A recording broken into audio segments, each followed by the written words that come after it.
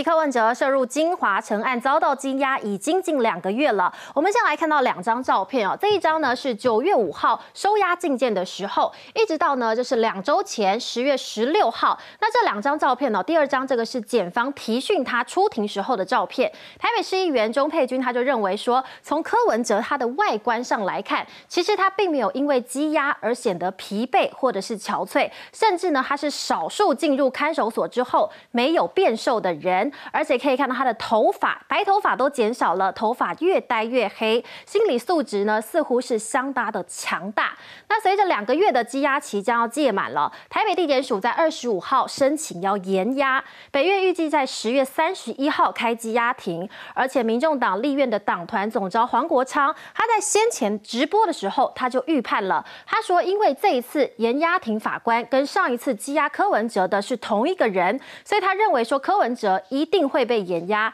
那根据港媒中评社最新的评论指出，北检呢其实申请延压柯文哲，对民众党来说可谓是喜忧参半。怎么样说呢？其实，在喜的部分，柯文哲被延压将会更加凝聚钢铁小草，刺激他们慷慨激昂的情绪，也将为民众党举办的集会活动添柴火，增加社会认认同，有机会让中间的选民回流。但是呢，也并非全然都是好消息，在优。的部分，白银将在十二月七号举行党代表选举，明年的一月会由新任的党代表选出中央委员，重组权力的核心。到时候党内恐怕会陷入群龙无首、派系自立。一旦柯文哲没有办法出面来稳定局势，民众党内恐怕会酿成分裂危机。